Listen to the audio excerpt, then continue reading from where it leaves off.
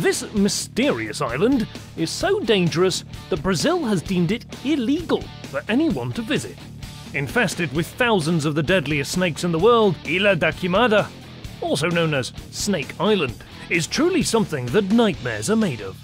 Here are 11 terrifying facts about Snake Island.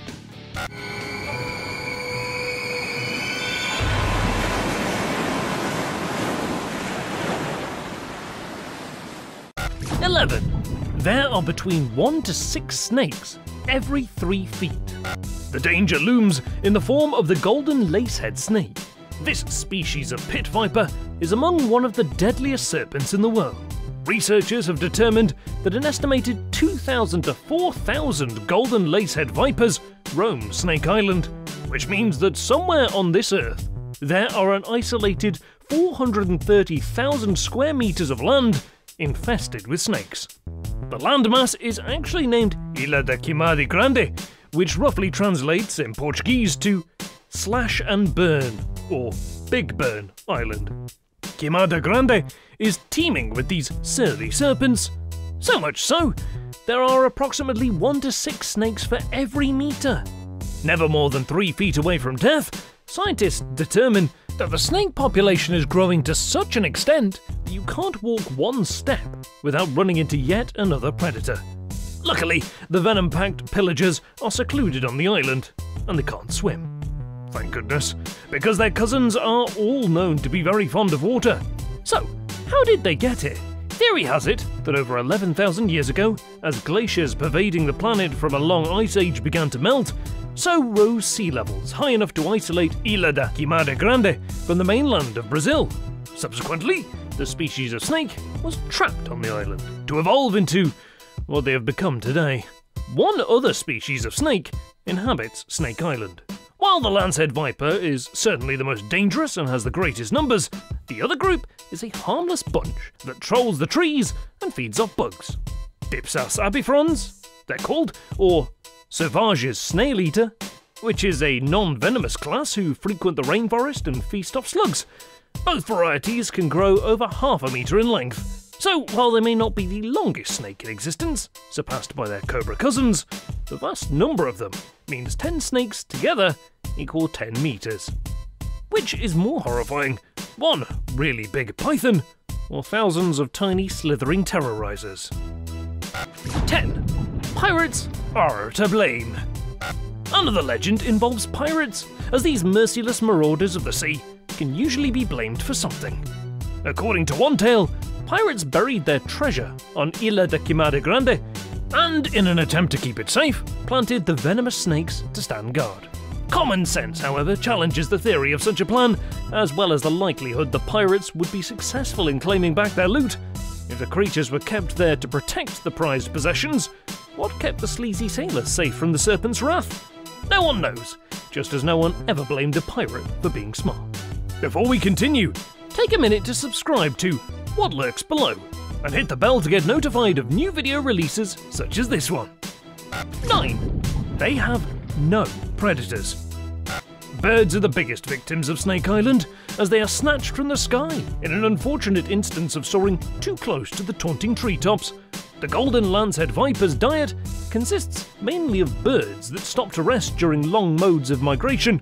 The sneaky serpents hide out in the trees of the rainforest and patiently wait for the birds to venture near. After they strike, the venom has to work fast. Otherwise, birds would merely flutter away to die in solitude, and therefore become completely invaluable to their killer. Back when the Avengers first became isolated on the island, food was few and far between. Therefore, evolution had to act fast and equip the beasts with a quick and surefire weapon.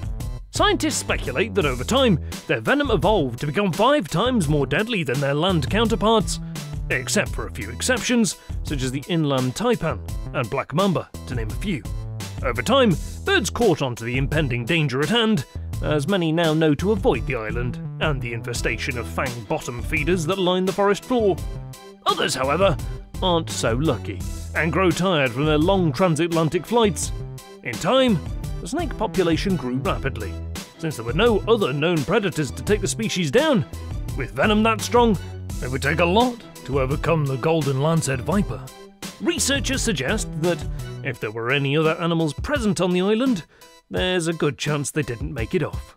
Humans would be the golden lancehead's next predator, except humans aren't allowed there. 8. Venom is our friend? Venom isn't always our enemy. According to recent studies, scientists have determined that the toxins from a golden lancehead viper can be used to make medicine. This has perpetuated a growing interest in the species, as tests are showing that the venom can be used for pharmaceutical purposes and has shown promise with ailments such as heart disease, blood circulation, and blood clots. Surprisingly, there's a healthy light at the end of this tunnel. That is, uh, except for the one sent to get the venom in the first place. One attack, and chances are slim you'll make your way back. 7. They're endangered. Despite their own thriving world, void of predators, the golden lancehead viper is considered an endangered animal by the Brazilian government. Due to this, officials take great strides to protect the waning species and enforce the banishment of humans more than ever. A very venomous creature requires careful protection from the government, despite their power to do catastrophic harm with one bite.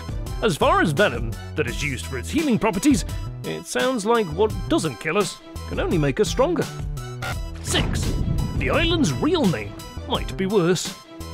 The Heavenly Haven would be just that if it weren't for the creepy crawlers which lurked about. The island is a paradise, with its mild temperatures, crystalline sandy beaches, lush rainforests, sparkling cliffs, and majestic mountains.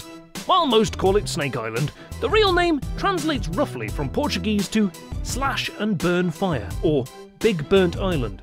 As bad luck would have it, the name adheres to its history. So let's pretend there weren't thousands of seething snakes bending from the canopies and writhing across the forest floors. Who in their right mind would urge their travel guide to book a cheery retreat to a place called Slash and Burn Fire Island? The unsettling designation stems from the steps taken to prepare the place for what was once thought to be a potential banana plantation. A thriving fruit metropolis was the dream, one that would grow straight out of the vibrant reaches of rainforest and supply the people of Brazil with delicious fruit the colour of the sun.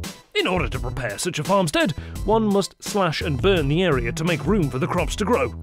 Unfortunately, this attempt failed, leaving the island with a unique name and an interesting story. Slash Island, or Snake Island, no matter how you put it, the place is as daunting as they come. It lives up to its name too. That is, the one that denotes the island as the deadliest in the world. Out of all facts combined, from the deadly inhabitants that lurk there to the high promise of fatality, this secluded island is far too dangerous to travel to. Snakes with some of the most venomous bites in the world that leer within every step you take is enough to keep anyone at bay. 5. Ghosts of the Past. There was once a family on the island, and the proof is in the luminous lighthouse that still stands proud as it gazes out to sea. Someone had to maintain the operation, and in the early 1900s, a lighthouse keeper and his family did just that. As legend would have it, the family woke one night and ran in terror after snakes began crawling in through their windows. Later, their lifeless bodies were found scattered across the island. 4. Fisherman and his boat. Another account of a victim that fell prey to the golden lancehead viper involves the myth of the fisherman and his boat. Legend has it that a fisherman's boat wandered off course before stumbling upon the murky quiet of an unknown island abode. At first, the fearless sailor was counting his lucky stars as he began plucking at the surplus of bananas which grew there.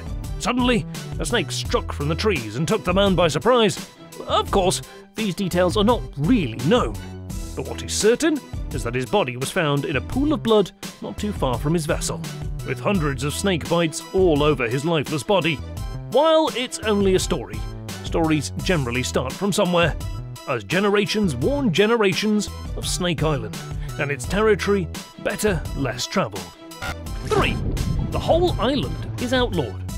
There are few exceptions for those allowed to venture onto Snake Island. Anyone who does so is, by law, required to bring a doctor alongside. Scientists have determined that a bite from a golden lancehead viper carries with it a 7% chance of survival, due to the potency of venom alone, and a 3% chance based on the nature of isolation and distance from help. Once bitten, the venom will quickly consume its victim, causing immediate kidney failure, muscle tissue dystrophy, and even repercussions in the brain. Due to these risks alone, the Brazilian government put a ban against anyone entering its grounds.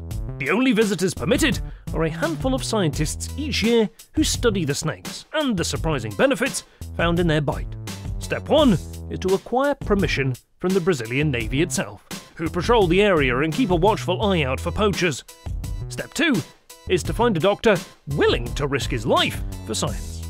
Rumour just so has it that it is possible to get a local to take one out by boat, and the Navy allows so many a year, especially since the lighthouse is still active and requires regular maintenance. But who would want to travel to a place where a medical chaperone is mandatory?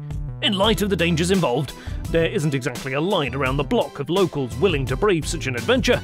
Besides, if Hollywood has taught us anything, it's that the doctor or the guide would most certainly be the first to go. 2. The Black Market. Of course, there are those eager to make a pretty penny, Snake Island's seedy treasure trove. When something is rare, there is always someone wanting to get a hold of it.